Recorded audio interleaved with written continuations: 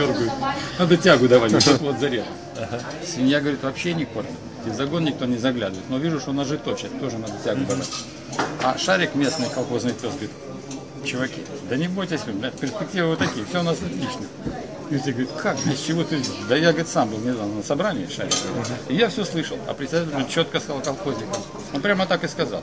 Если так будет продолжаться дальше, нам ничего не останется, как этому нашему шарику пусть засадить.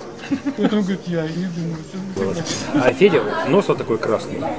И как сейчас помню, я был за моде Париж э, в армии, ну, в ГСВГ. И, значит, э, все разбегаются, Федя приходит, все в рассыпную, понимаешь? Единственный, кто, кто может это, ну, направленцы. Отойти не может. Да, вот э, я, а я привязан к креслу, я сразу на ЦКП, знаешь, работаю.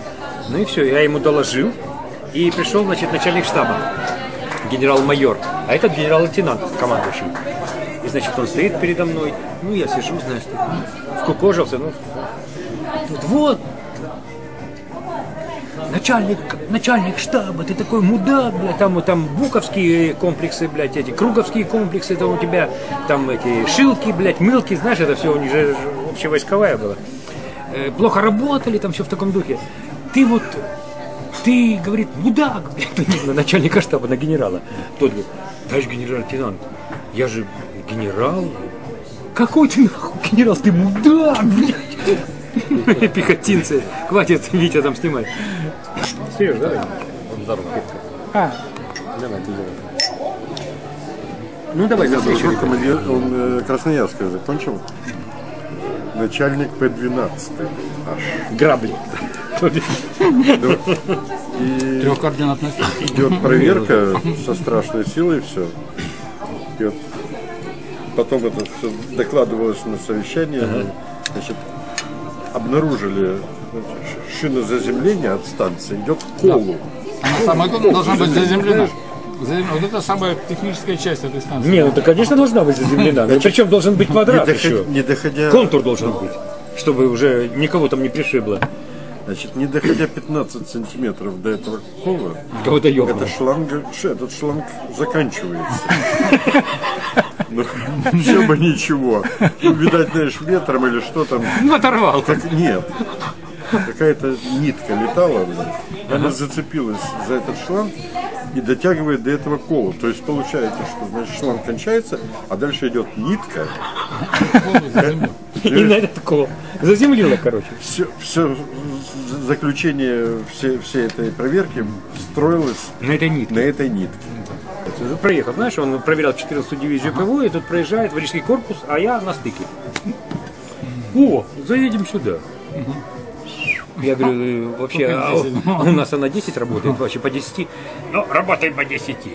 Запустили этот учебник. Ну, слушай, командир, хочешь хорошо, хорошо, ну, чтобы было у тебя хорошо. Я говорю, ну так вроде сейчас хорошо, так все привелись, все включилось, да, все, все отработали, Прогнуться все, да, прог- а прогнуться хочешь? Я говорю, ну, в принципе, давайте собачьего жира найди. Или барсучьего там, или собачьего, Собачий ну, или соба- барсучий, собачий, да. Ну, значит, э, а у меня прапорщик Меликидзе был, начальник склада, Вахтанг Давыдович, он по жизни грузин в этой все они боевую подготовку проверили, журналы посмотрели, там все оперативно, все бойцов поспрашали, все чистенькие, все нормально, все.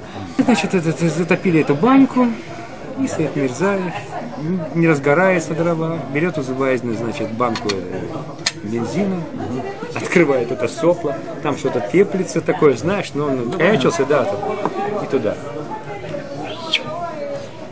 Туда. Змей Горыныч. Как из ствола. И старшина опять бежит. Командир, Свет Мизаева морда срезала. Ну, знаешь, он ебал, ну, оттуда, хуа, ну, как, ну, это реактивный двигатель сработал. Рост метр сорок восемь. Метр пятьдесят два можно было в армию брать, да? Или метр пятьдесят четыре, что-то такое.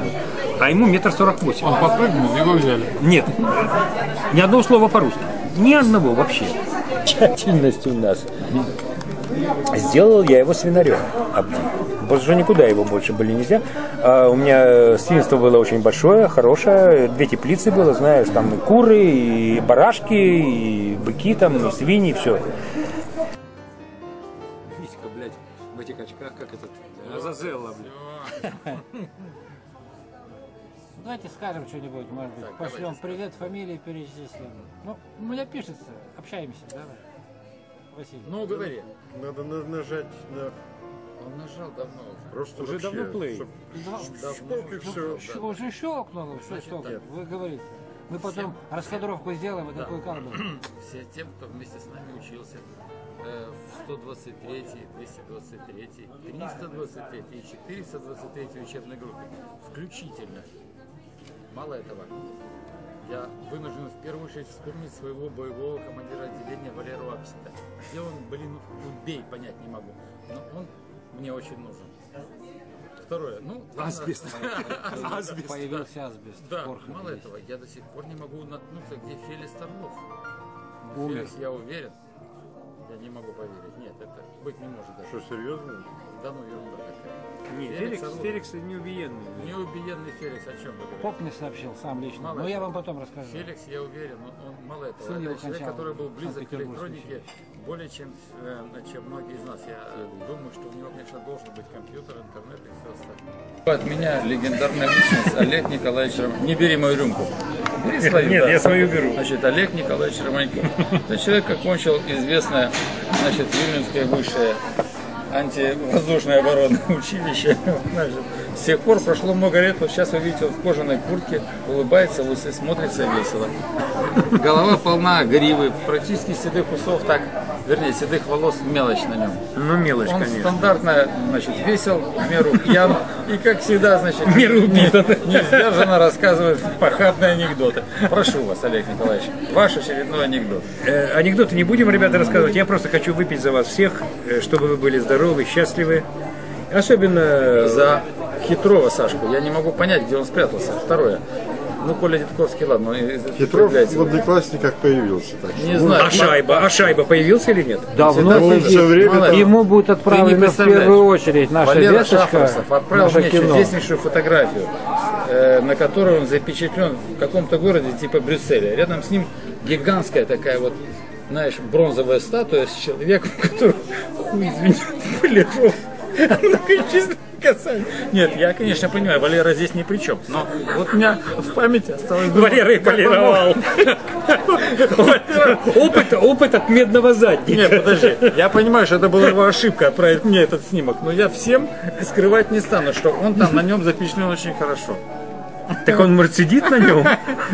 Так, плавно перейдем к, вы- к выводы по нашему Выводы видеообращению. по тексту это то место, где автор устал думать.